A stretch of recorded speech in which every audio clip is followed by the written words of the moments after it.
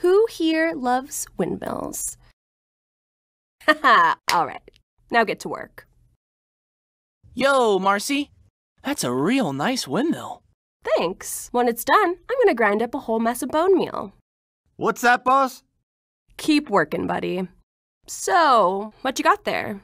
A little lump destined for something big. Just like your butt. Good one.